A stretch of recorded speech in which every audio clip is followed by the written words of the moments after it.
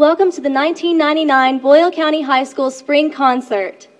Our concert band has worked very hard this year, and we're very pleased to let you know that we received straight superiors at the KMEA State Concert Band Festival.